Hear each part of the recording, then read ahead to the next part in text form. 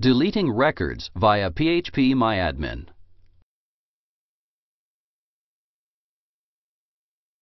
This tutorial will show you how to delete records from tables in a database via PHP MyAdmin.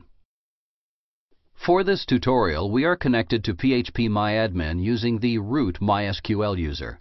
When connecting as another user, some options may be disabled dependent on the server's configuration and the specific privileges granted to the user by the system administrator.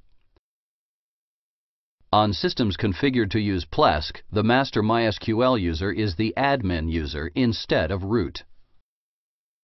On Linux-based systems, database names, database users, table names, and column names are case-sensitive, whereas on Windows-based systems, these names are case-insensitive. First, let's select a database. Click the database name. Other users will only see and be able to access databases that they have been given the privileges to access.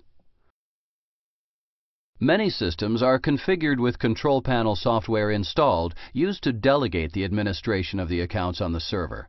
Whenever possible, it is recommended that you use the controls within the control panel itself for certain tasks, such as the creation of databases, creation of users, management of user privileges, etc., instead of PHP MyAdmin.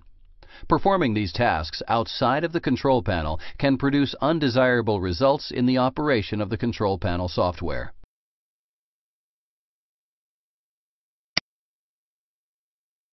Click the Browse icon.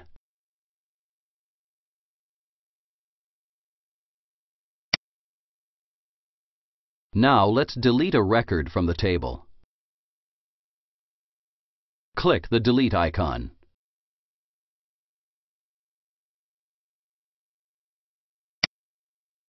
Click the OK button.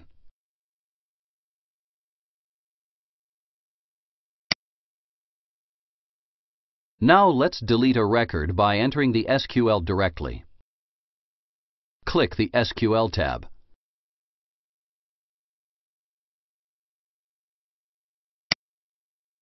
Enter the command or commands.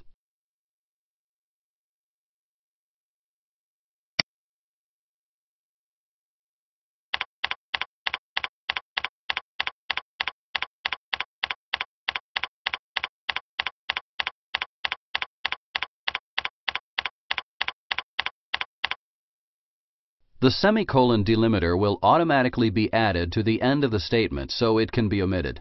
However, it must be included to separate statements when you're entering multiple statements at one time, so it is considered good practice to enter it manually at the end of each statement anyway, just as you would if you were entering the commands from the shell.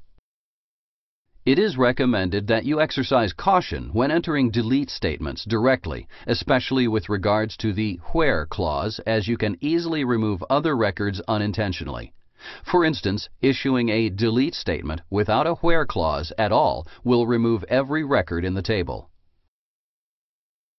Click the Go button.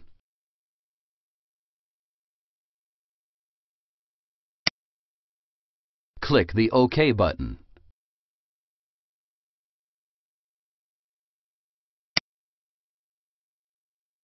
Click the Browse tab.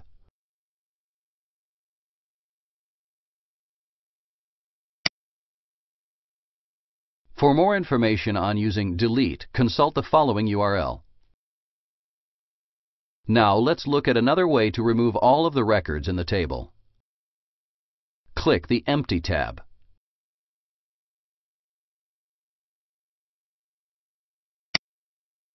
Click the OK button.